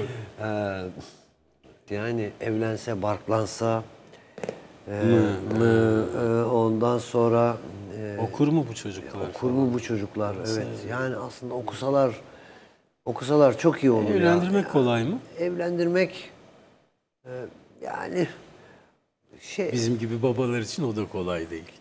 E, zaten ben oradayım dur. Sen oradan kurtarmaya çalışıyorsun kendini. yani evlen, evlendirmek aslında okutmaktan daha kolay olabilir orada. Yani teknik olarak öyle de. Evet. Peki kızlarının eğitimi için elinden gelen gayreti gösteriyorsun. Oh sağ ol. Ve onları sırayla okula gönderiyorsun. Yaşa. Yaşadığımız köyünde Kars'tayız. Geleneksel bir yapısı var doğal olarak. Kız çocuklarını okutmak pek alışılageldik bir durum değil. Senin çabaların biraz garip karşılanıyor etrafta. Karşılansın. Karşılansın. Ben yürürüm diyorsun. Yürürüm. Kızlarının evlendirilmesi gerektiğini düşünüyor etraf. Çünkü kolay. Çünkü onlar da onu yapıyorlar filan. Kızlarını okutmaya kararlısın. Tabii. Zaman içinde hayvanları tek tek satıyorsun. Yaşa. Kazancın yetmemeye başlayınca başkalarının tarlalarında çalışmaya başlıyorsun. Ekonomik olarak büyük sıkıntılar içindesin. Kızlarının eğitiminden vazgeçer misin? Geçmem.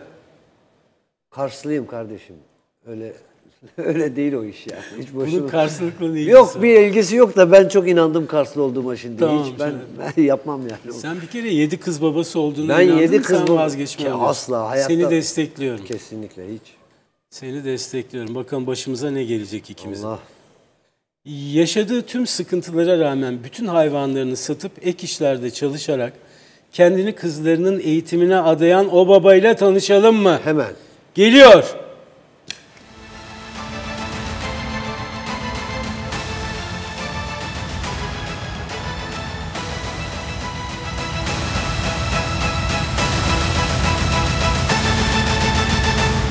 Aslanım İşte bu. Ya, işte. Geçer mi geçmez. Tanıştırayım. Meydan Ali Demirel. İsme bakar mısın? İsme bak Meydan saatini Ali. ayarla. He. Bitti artık. Meydan Ali mi ismi? Meydan Ali. Meydan Ali Bey Küçük Boğaz köyünde İşte bu bak. zor şartlara Bak. rağmen 7 kızını okutmanın mutluluğunu yaşıyor. Bak kızlarından ikisi üniversite mezunu. Biri hazırlanıyor. Üçü liseden mezun oldu. Biri halen ortaokulda. Onlar babaların emeklerini boşa çıkarmadı ve gururla babalarını da gururlandırarak ve eminim babalarından da çok büyük analarından babalarından gurur duyarak okumaya devam ediyorlar. Meydan Ali Demirel yaşadığı çevrede zaman zaman eleştirilere maruz kalsa da kızlarının geleceği için bütün zorluklara göğüs geriyor. Bu davranışı onu yaşadığı ve çevre köylerde örnek bir insan Bravo. haline getiriyor. Budur. Muhakkak ki başka kız çocuklarının da önünü açmış oluyor. Yedi çocuk okutmak yetmiyormuş gibi başka çocuklara da muazzam bir fayda sağlıyor. Meydan Ali tam alnından, elinden Tam ayağından öpülecek bir adam yani. öpülecek adam evet. O adamın sırtı yere gelir mi Allah aşkına? Gelmez baksana. Gelmez abi. Kimse getiremez. Ya şimdi burada tutup da 2022 yılında artık herhalde kız çocuklarının okuması gerekliliği konusunda hadi tabii ki de söyleyelim bunu Söyleyelim, yani. söyleyelim, yani söyleyelim. sonuna kadar da söyleyelim. Elbette ki gereklidir Dil- yani bu. dilimizde tüy bitene, sakın, Dilimizde tüy saçımız, bitene, evet. sakalımız ağarana kadar söyleyelim. Sonuna kadar da söyleyelim. Kızlardan birisi köylerde kız çocukları okutulmadığı için babasının fedakarlığından gurur duyduğunu söylüyormuş. Onun kadar emek veren kimsenin olmadığını ve böyle bir babası olduğu için çok mutlu olduğunu, gurur duyduğunu ifade ediyor. Şu kızlardan Hepsi biridir hepsi muhtemelen. hepsi muhteşem. Hepsi Peki. Fırat'a bir şey sormak isterim. Burada mı kendisi? Buradayım efendim. Fırat Bey, merhaba. Meydan Ali Demirel gibi kız çocuklarını her şartta okutma konusunda ısrarlı babaların sayısını nasıl artırabiliriz?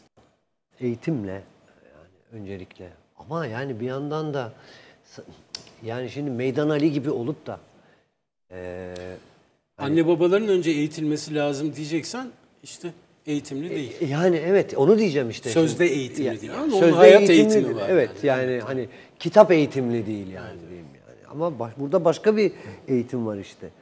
Yani Yüksek bir ruh değil mi? yani ben Kars'a gittiğim zaman Meydan Ali'yi bulacağım. Gerçekten gidip bulacağım. bulmalıyız meydan. Hani kesinlikle Bunu yapalım mı? olur. Meydan Ali'ye gideceğiz beraber. Buyurun efendim gidelim. Tamam. Sen Geliyoruz Meydan Ali. Çayı demleyin. çayı da biz götürelim. O çayı da Meydan Ali'den beklemeyelim artık. Tamam. Kızı, yedi kız büyütmüş. Sen de bir kız babasısın. Evlat için fedakarlık yapmak sana ne ifade eder? Of yani bunlar o kadar kelimelerle nasıl ifade edilir bilmiyorum yani. Şimdilik programı kelimelerle yapıyoruz. Ya maalesef Deneyeceğiz. işte böyle yani ne ne ne denebilir? Kendinle empati kur. yani Şöyle sorayım mı? ne denebilir bilmiyorum. Ço- çocuk sahibi olmak insanı kendisiyle yüzleştiriyor mu mesela? Değil mi? Evet, hem de nasıl yüzleştirmez mi ya? Tabii ki de kendi kendi kendi babasıyla, kendi çocukluğuyla, e, kendi anasıyla e, yüzleştirmez mi yani? Hani orada çok şey e, çok ilginç kararlar da var. Yani diyorsun ki ya kendi çocuğum için acaba bazı şeylere ram olmalı mıyım? Bak bu çok ilginç bir sorudur yani. Başımı ne kadar eğerim? Evet. Yoksa kendi çocuğum için tam tersine e, doğru olduğuna inandığım şeyin arkasından Allah ne verdiyse gitmeliyim. Bu durumdan bahsetmiyorum. Sende hangisi oldu? Oh. Ayarını Vallahi mani, çok efradını cami demiş yani. böyle. Ayarını Evet. efradını cami. Yani, Ben eğilip büküldüm. Ben istemediğim işlerde çalıştım. Tabii, tabii. Bayılmadığım işlerde Tabii, çalıştım. tabii, Yapmadın mı canım? tabii ki ben de tabii. Yani ikimizin de Tabii ki biz övülen oyuncularız ama Tabii ki. birisi yermek isterse yerilecek çok da Çok, filmimizi, çok şey dizimizi var. falan bulurlar. Canı- Bulurlar. canı Sebebini biz biliyoruz. Tabii ki. Aslında cevap vermiş olduk birlikte değil mi bu konuya? Eğilip bükülebiliriz. Sen kızınla ilişkinde nasıl bir babasın? Kendini tarif et. Zeynep'e de sorarız bir gün ama. bunları şimdi, sana böyle sor. söyleyip de yani yayına kalacak şeyler bunlar gelecekte tutar bir arşivden izler. Vay babam böyle bana İnşallah, taktik yapmış inşallah, falan diye. inşallah. O yüzden yani e, şapkanın içinde tavşan olduğunu o hala tavşan yok zannediyor çünkü yani. Otoriter misin? Ee, e, çok tatlı. Çok yani öyle bir e, haytoyt bir durumum yoktur ama e, iletişimin çok şey olduğuna inanıyorum ben. Çok önemli olduğuna inanıyorum. Okula gitmemeye karar verse, okumak istemediğine karar verse ne yaparsın mesela? Oturup konuşuruz bunu. Ne yapmak üzere konuşuruz? Yani o da seni ikna edebilir mi? Yoksa Elbette illaki sen onu ikna edeceksin elbette ikna edebilir. Elbette ki okula gitmesi mutlak. Bu bunda az önce öyle söyleyen biri şimdi tutması böyle söylüyor diye düşünme. O değil söylediğim şey. Ee, ama ikna ikna da ol- olmak isterim tabii. Dinlerim diyorsun. Yüzde yüz dinlerim tabii ki. Susana kadar dinlerim. Evet, Değil mi? evet. Dinlemeyi bazen sabrımızın bittiği yerde kesiyoruz ya. O dinlemek olmuyor işte. Evet. Karşıdakinin sözü bitene kadar dinlemek Evet. lazım. Çocukların geleceği için anne babaların kendi imkanlarından fedakarlık yapmaları gerekiyor çoğu zaman. İyi bir iş kurabilir, icatlar yapabilir, mesleki başarılar kazanabiliriz. Ama geleceğimiz için hepsinden daha önemlisi sevmeyi bilen, dinlemeyi bilen, konuşabilen, soru sorabilen çocuklar yetiştirmek. Doğru mu dostum? Evet. Yani benim her zaman e, her koşulda doğru söylediğime ikna olmamış. Değil mi yani? Evet, onu da çek edecek, ondan da şüphelenecek. Yani bilimsel septisizm, bilimsel şüphecilik e, tohumları atılmış evlatlara ihtiyacımız var. Değil mi? Soru soran çocuklara. Arpaçay ilçesinin bir köyünde çobanlık ve çiftçilik yapıyorsun. Ve yedi kız çocuğu sahibi oluyorsun. Yedi kıza da yetişmek için dişimi tırnağıma takardım kardeşim. Kızlarının eğitimi için elinden gelen gayreti gösteriyorsun. Oh sağ ol. Ve onları sırayla okula gönderiyorsun. Yaşa. Kızlarının evlendirilmesi gerektiğini düşünüyor etraf. Çünkü kolay. Çünkü onlar da onu yapıyorlar filan. Kızlarını okutmaya kararlısın. Evet. Zaman içinde hayvanları tek tek satıyorsun. Yaşa. Kazancın yetmemeye başlayınca başkalarının tarlalarında çalışmaya başlıyorsun. Meydan Ali tam alnından, elinden Tam ayağından öpülecek bir adam yani. öpülecek. O adamın sırtı yere gelir mi Allah aşkına? Gelmez baksana. Gelmez. Kimse getiremez. Beşinci, Beşinci hikaye. hikaye. Evet. Son hikayemiz. Ee, başarı nedir dostum? Başarılı kime denir? Ee, CEO'ya sorsan başka bir cevap alırsın. Tabii ama ben sana soruyorum. Bence Ben- başarı, ben başarı diye bir şey yoktur ederim. çocuklar der falan yani. Hani öyle bir yerden akıl alan cevaplar verir. Belki yeter başarı görmüyordur. Ee, belki e, tabii etrafımdaki rakipler kimlerdir diye de hesap ediyor olabilir yani. Hani başarının başarının ne olduğunu kaç rakibime anlatıyorum acaba burada? Evet tabii doğru. Ee, tabii başarı nedir? Ee, hiçbir fikrim yok abi. Yani başarı ne? o? Bir birlikte konuşalım yani. Bilmiyorum Ya başarı. ben, ya ben bak okumuşsun, yuva kurmuşsun, evlat sahibi olmuşsun. Şu veya bu biçimde bu sorumluluğunu hala dikkatli ve özenli bir şekilde sürdürüyorsun. Mesleğinde tanınmış, saygı gören bir insansın. Farklı yeteneklerini, e, farklı marifetlerini somut bir biçimde insanlara sunabilme yetisine sahipsin. Bunun karşılığını alıyorsun. Buna açık seçik başarı denir. İlla Etrafımda tarifi arıyorsan Kim, bu başarıdır. Hangi başarı, hangi kimin başarı hikayesini dinlediysem, hangi başarı hikayesine tanık olduysam hepsi başarısızlıktan geçiyordu yani. Hani yani bunun içinde şöyle şeyler var yani işte gidip yıllarca koltuğunun altında senaryosuyla ya Tabii. abi Allah aşkına şu fikrime bir bakın Tabii. deyip de yani e, şey olmuş insanlardan tut böyle Ben- dibi boylamış oradan çıkmış insanlar yani hepsi mutlaka yani bu başarı şeyinin başarısızlıktan mutlaka geçtiğini Şöyle diyelim. başarısızlıkla sınanmamış hiçbir başarı gerçek başarı Mümkün- değildir. mümkün değil Şimdi yani. uydurdum ama fena Evet. olmadı. İyi, Bence çok güzel oldu. E, tamam. Başarı bir de senaryonun kabul edilmesi değil, yazılmış olmasıdır Evet. bence. Evet. Yazdıysan başarılısın. Kapı kapı geziyorsun, kimse almıyor. Buna başarısızlık Ama orada inat yaptın. etmesine ne diyorsun peki?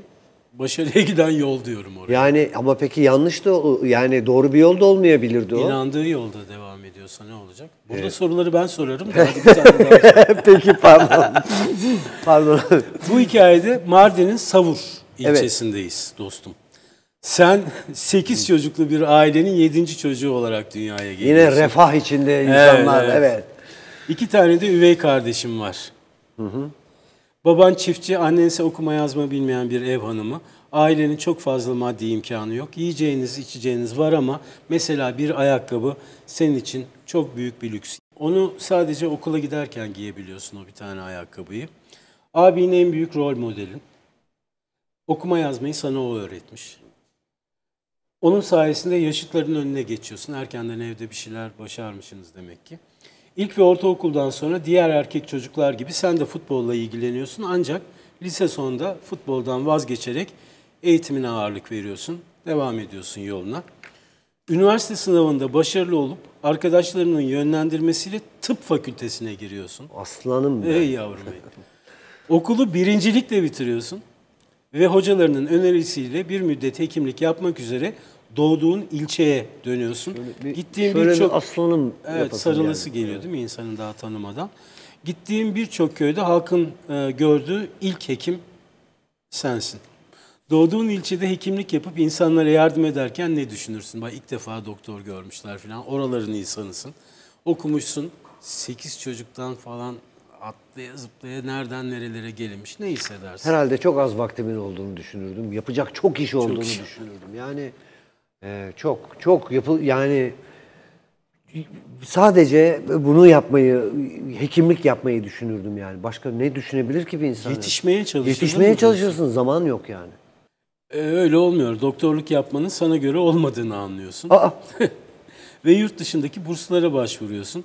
İki yıl sonunda TÜBİTAK'tan aldığın NATO bursuyla Amerika'da John Hopkins Üniversitesi'ne gidiyorsun. evet. Oradaki hocan seni bir türlü kabullenemiyor. Günde 18 saat çalışmana rağmen beklediğin fırsatları bulamayınca depresyona giriyorsun. Bir psikoloğun tavsiyesi üzerine Türkiye'ye dönüyor ve depresyon tedavisi alıyorsun. Yani depresyondasın, gitmişsin, denemişsin. Yani şöyle Bir düşünürdüm. başarısızlık var. Bir- yani bir, etraf bir hekim başarı- olarak şöyle düşünürdüm. Olay- başarıyla başladık ya. Evet, bir hekim olarak yaklaşırdım meseleye. Yani çünkü burada tedavi ya aslında kendime uygulamam gereken bir tedavi var yani. Burada anlam üretmem lazım. O yüzden hekimlik yapabilirdim. Anlam mı öğretmenler? Yani bir iş yapabilmem lazım. Bunu söylüyorum. E, o hekimlik mi? Ee, Daha önce yapamayacağına karar. Bu iş bana göre değil deyip burs bulup gitmişsin. Orada yeteri kadar ilgi göremeyip bir de bunalıma girip ne tekrar üstüne burs bulmuşum ben orada? John Hopkins Üniversitesi'nde bir şey yapıyor. Onu söylemeyeceğim. Bana lazım çünkü birazdan söyleyeceğim yani hiç söylemeyeceğim değil. Yani o Eve bursun götürmeyeceğim. ne olduğunu bilmem lazım abi. Her şeyi saklamayın bırak bizden. Allah aşkına. Toplumdan her şeyi saklamayın lütfen. Bize söyleyin bunları. Nedir bizim John Peki, Hopkins'le o zaman şöyle söyleyeyim. Tekrar başladığın yere dönmek sana nasıl hissettirir? Yani elimdeki veri hekimlikse hekimlik yapardım. Ee, ya da Hekimliğe baştan başlardım. hekimlik Belki yapardım ya seviyorum. da başka yapabileceğim başka bir iş varsa anlam üretebileceğim bir iş onu üretmek için başka bir işle de uğraşabilirdim ama orada John Hopkins'te bir şey oldum ben de. Bak bir müddet sonra annenin desteğiyle döndükten sonra yeniden toparlanıyorsun ve Mardin'de hekimlik yapmaya başlıyorsun. Evet. Yani dediğini yapıyor. Tamam. burada. İşe yaklaşımın çok etkili. Evet. Yani hekimlik yapma biçiminle ilgili e, anladığım kadarıyla. Bunu farklı bulan TÜBİTAK yetkilileri bu defa da İngiltere'ye gitmeni öneriyorlar. parlak çünkü adam parlak yani. Evet. Ee, yani bir adam ancak çok parlaksa Mardin'de hekimlik yaparken fark edilip de sen niye Amerika olmadı ama İngiltere'ye gitsen falan denir. İnşallah ajan hikayesi falan çıkmazsa onu da çok korkuyorum yani. Ahmet abi. İnşallah. İngiltere'ye gittiğinde, İngiltere'ye gittiğinde Çünkü oradaki çalışmaların yetersiz olduğunu anlıyorsun. Oh. İngiltere'deki çalışmaların yetersiz olduğunu anlıyorsun. Ve yetkililere Amerika'ya gitmek istediğini söylüyorsun. Sana verilen bursun sadece İngiltere için geçerli olduğu söyleniyor. Cebinde 60 doların var. Kalkıp Amerika'ya gider misin? Giderim. 60 dolarla gidiyorsun. Orada yaşayan Türklerin desteğiyle Evet. birçok işe girip çıkıyor ve para kazanıyorsun.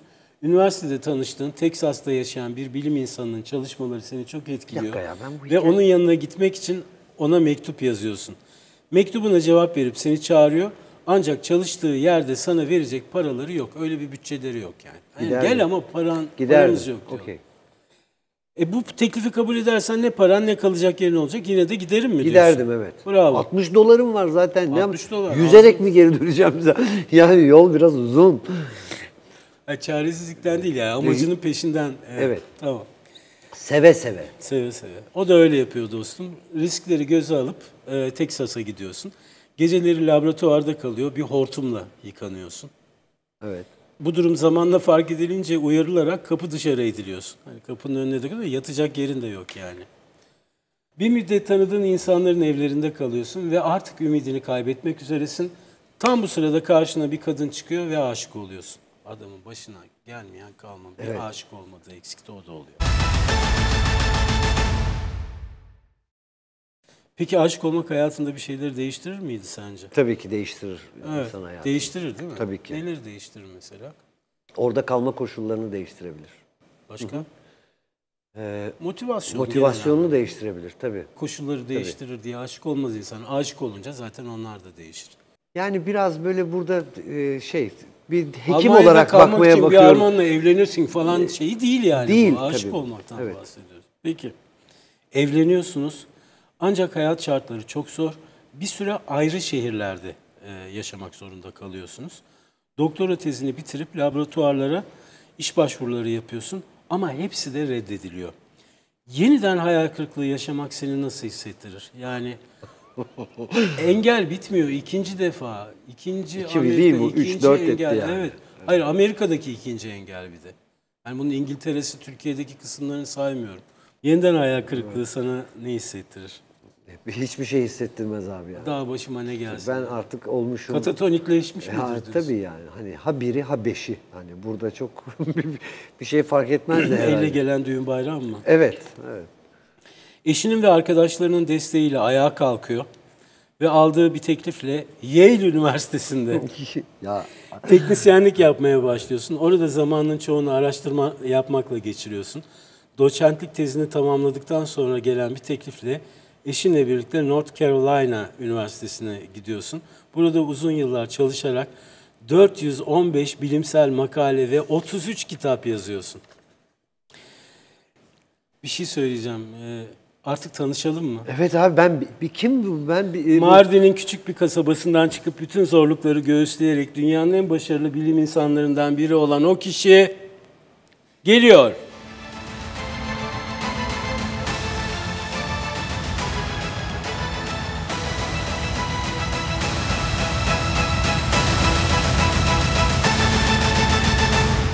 Hocam. 2015 Nobel Kimya Tabii. Ödülü sahibi Aziz Sancar. Birazdan bir- deminden beri dinlediğimiz bu acayip inanılmaz macera- bir iş yani. Yani sen yapamazsın, sen edemezsin. O ne de e, Nobel e, ödülü sahibi Aziz Sancar yaşıyor bunları. Sancar 2015 yılında Alfred Nobel'in ölüm yıl dönümü olan 10 Aralık'ta Stockholm'de düzenlenen törenle ödülünü İsveç kralı 16. Karl Gustav'dan Gustav'dan İşte aldı. orada. Ee, sen bu işleri yapamazsın diyenlere de kralından cevap gelmiş yani. DNA onarımı ve kanser hücre tedavisi konularında çalışmalarına Amerika'da devam ediyor bugün de ve Türkiye, KKTC ve Türkiye Cumhuriyetler dışında hiçbir yerde konferans vermiyor, reddediyormuş. Ee, ödülünü her zaman örnek ve ilham aldığı Atatürk'e adayarak Anıtkabir Müzesi'ne bağışlamış. Bir süre sonra Nobel alacak bir adama sen bu işleri yapamazsın diyorsun. Evet. Ne talihsizlik. Evet bu nedenle de ağır bir depresyon geçiriyor adam yani. O adama bir şey yapamazsın demek. Yaptıklarını da bir saattir konuşuyoruz. Aziz Sancar'ın hayatında iki kadın çok önemli. Annesi ve, Ve eşi. eşi, Evet. evet. Annesi Türkiye'ye döndüğünde onun iyileşme sürecine tabii ki destek oluyor. Eşi ise parasız ve işlerin istediği gibi gitmediği bir dönemde elinden tutup kolona girip onu ayağa kaldırıyor. Bu kadınların gücü hakkında ne düşünüyorsun? Bir araya böyle bir Yo- yo- yoldaşlık, yol arkadaşlığı. Değil mi? Öyle çok yol arkadaşlığı. tabii. Yol arkadaşlığından biraz daha fazla. Kader değiştiriyor bu. Bu başka tabii. Allah herkese öyle eş anne nasip etsin diyelim. Senin bir kadın kahramanın var mıdır? Yakında bir tane olacak da daha biraz daha büyümesi Yani, lazım. evet, biraz- yani ya çok şimdi bir şey söyleyeceğim. Kimse kırılmasınlar, Hayır, alınmasınlar ama benim çok kahramanım yok böyle yani. Hani Olabilir canım. evet yani o yüzden kadın kahraman falan hiç öyle olamadı yani. Ama erkek kahraman da öyle bir şey de olamadı yani. Çok kahraman, Kahramancı değilim. çok kahramanca biri değilim. Peki. Belki sen birinin, birilerinin kahramanı olursun. Kim bilir? Başta Zeynep olmak üzere. Mesela biz bence e, Aziz Bey'e e, senden olmaz diyen kişi kahramanı yani. Gizli kahramanı. Gizli kahraman. Tabii canım onun gizli kahramanı. Lütfen gizli kalsın. İsmini de vermiyoruz Ver. mağdur olmaması için. Gözünü bantlayıp. Senin hayatında dönüşümler yaşadığın, kırılma noktaları yaşadığın dönemler olmuştu. Tabii tabii olmaz mı? Tabii ki. Ee, örneğin gemi makineleri bölümü okuyacakken Evet, evet. Ve annen gemici olmanı isterken Lise- tiyatroya tiyatroya başlamışsın. gitmek gibi tabii. Gemici olsaydın hayatında ne değişirdi? E, bir şey değişmezdi. İyi yapardın mı diyorsun? Yapardım, iyi yapardım yani. Yine orada da bir heyecan üretmeye çalışırdım eminim. E, bir anlam üretmeye çalışırdım. Tiyatro okumaya karar verdiğin zaman anneni ikna etmiş miydin? E, tabii ikna Nasıl oldular. ikna ettin? E, tiyatro okum, okuyacağım zaman daha çok ikna oldular hatta. Bunu bir üniversitede falan. Ha okuma kısmında ikna Tabii oldun. okuma kısmında ikna oldular. Tabii. E, Hatta öyle daha kolay ikna oldular. Peki bir dönem alkol tedavisi gördün ve içkiyi bıraktın. Bunu röportajlarında anlattığın Tabii, tabii, tabii e, ki, için tabii. e, rahatlıkla soruyorum. E, benzer şeyler yaşadığım için de Evet. gönül rahatlığıyla soruyorum. Ben de saklamam. E, bunu yapmasaydın yine aynı yerde olabilir miydin? E, olamazdı. Fırat. Ben bunu çok Biraz şey açalım. buluyorum yani çok anlamlı buluyorum bu e, yani, e, hem bu soruyu bu, bu gibi soruları da çünkü bu konuda e, herhangi bir ekseriyetle duyulan böyle bir toplumsal bir sosyal baskı e, bizde bu çünkü bir ahlaki bir şeye yol açabiliyor yani bir ahlaki bir düşüklük şeyi e, Kaygısı. kaygısı yaratabiliyor. Öyle değil. Halbuki bence e, yani bu konuda bir şey yapmamış olmak Aynen. e, e, buna yol açabilirdi. E, ben bu konuda çalışan, bu konuda e, kendisiyle ilgili çalışma yapmak isteyen, bizi izleyen, dinleyen etrafımdaki insanlara da, genç arkadaşlarıma, dostlarıma, tanımadığım insanlara da örnek olmanın çok anlamlı olduğunu düşünüyorum. Olmazdım. Çok, çünkü çok değerli bir tecrübe çünkü. E, çünkü- çok acayip bir karar. e, e, kendi bir karar. potansiyelinizin e, farkına varabilmek için e, bağımsız olmanız gerek. Nokta. Yani Bağımlı değil, e, bağımsız bağımlı olmanız değil, gerek. bağımsız olmanız gerek. Yani burada düşünülmesi gereken şey belki de bağımlılığın ne olduğu değil, bağımsızlığın ne ne kadar olduğu yani. Evet. evet. E, bunun üstüne Çok düşünmek lazım. E, elbette ki olmazdım, olamazdım yani. Orada da bir iç rehber işte. Yani ben ona inanıyorum ya. Böyle bir e, bize her zaman e, vicdan mı deriz buna? E, böyle bir iç bir iç bir duygu var yani. E, he- hepimizde de vardır Aslında yani. kendini değiştirme, dönüştürme, e, geliştirme ülküsü. Evet. Yani bu hem bilgi donanımla geliyor he- hem biraz kişilikten geliyor. Hem teslim olmayan bir karakter olmaktan geliyor. Olamazdım herhalde. Kim bilir nerede ne olurdum onu bilmiyorum ama e, Bu olmaz. bu olmazdı yani. Mesela mesela e, ge- gerçekten bilemiyorum yani. Hani düşünüyorum da mesela da ne? Hayır hiç. Böyle bir yerde seninle bu şu an burada bile duruyor olamazdım belki. Ben de olamazdım senin gibi kararları almasaydım. Evet. Ben de burada bu soruları soruyor Evet. olamazdım. Çok farklı değil.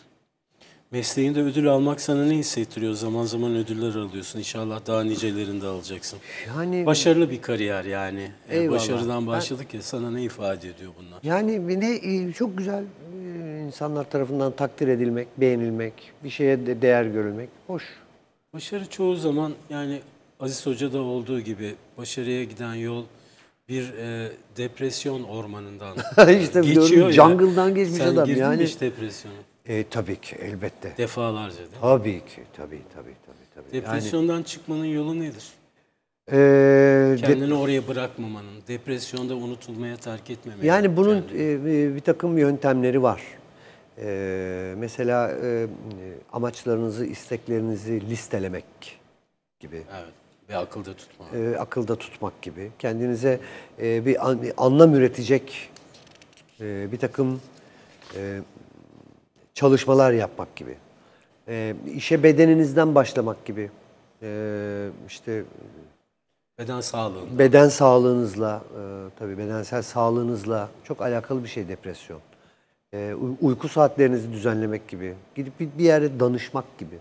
Yani bu konuda yardım almak gibi. Bu gibi şeyler. Hiç tereddüt etmeden yapılması gereken şeyler. Bunun için bir dünya şey yardımcı olmak için bekliyor. Ona açık olmak. Evet. Değiştirme ülküsü isteği. Yeter ki yardıma muhtacı olan e, muhtaçlar olduğumuzu şey yapalım Her yani. birimizin. Her birimizin her yani. birimizin her e, zaman her konuda Evet. yardıma ihtiyaç duyabileceğini, bunun hayatın raciyiz belki biz de yani. iyi yanı. Raciyiz, evet. Ricacıyız yani. Öyleyiz. Doğru. Sen 8 çocuklu bir ailenin 7. çocuğu olarak dünyaya geliyorsun. Yine refah içinde insanlar. Evet. Üniversite sınavında başarılı olup arkadaşlarının yönlendirmesiyle tıp fakültesine giriyorsun. Aslanım. benim. Ey yavrum benim. Okulu birincilikle bitiriyorsun. Doktorluk yapmanın sana göre olmadığını anlıyorsun. Aa, Ve yurt dışındaki burslara başvuruyorsun. Oradaki çalışmaların yetersiz olduğunu anlıyorsun. Oh. İngiltere'deki çalışmaların yetersiz olduğunu anlıyorsun. Ve yetkililere Amerika'ya gitmek istediğini söylüyorsun. Doçentlik tezini tamamladıktan sonra gelen bir teklifle eşinle birlikte North Carolina Üniversitesi'ne gidiyorsun. Burada uzun yıllar çalışarak 415 bilimsel makale ve 33 kitap yazıyorsun. 2015 Nobel Kimya Tabii. Ödülü sahibi Aziz Sancar. Bir süre sonra Nobel alacak bir adama sen bu işleri yapamazsın diyorsun. Ne talihsizlik. Hayattaki motivasyonunu merak ediyorum. benim Son. Hayattaki motivasyonum nedir? Ee, yani güzel anılar bırakıp e, güzel anılarla e, bu gezegenden Hayırla anılarak. Evet yani iyi, iyi iyi anılmak, iyi anılmayı istemektir yani. Güzel anılar, e, eğlenceli bir şey, eğlenceli bir geçmiş ama öyle aha kakara kekiriden bahsetmiyorum. Eğlenceden kastım. Fayda diye başta çok vurguladın. Evet. Fayda sağlamak Evet değil mi? yani Yarar faydalı üretmek. faydalı olmak, Mana yarar üretmek. üretmek, anlam üretmek ve ondan sonra e, bay bay. Peki bu beş hikayeden en çok hangisi aklında kalacak? Yani beş Yarın hikayeden hepsi tabii ki yani orada çok böyle bir- çok acayip bir resim var mezar üstündeki Balon balon. tabii ki o bizi çak diye yakalıyor ama yani Aziz Sancar da kardeşim e, o da başka bir durum yani. O da anıt gibi Evet. orada. E, Ne çaba, ne kararlılık. Ilk, hikaye de böyle. Evet. Balon. Acayipti değil mi? Çok Kırmızı acayip. bir balon. Çok enteresandı yani. Fırat'cığım çok teşekkür Ahmet ediyorum. abicim. Ee, sadece e, başarılı, e, yetenekli değil, aynı zamanda da çok paylaşımcı, çok, dost bir insansın. Sağ ol geldiğin için. Ben Çok teşekkür ediyorum. dostum. Böyle bizi Ayağına böyle bir anıya e, bıraktın. Evet, bir, bir, bir tane daha biriktirmiş Evet, olduk çok değil mi? güzel oldu. Birlikte çok da anılarımız var. Evet, e, efendim zamanınızı bizimle paylaştığınız, bizi izlediğiniz, dinlediğiniz için teşekkür ederiz. Yine empatide, yeni bir empatiyle yakında tekrar karşınızda olacağız. İyi akşamlar.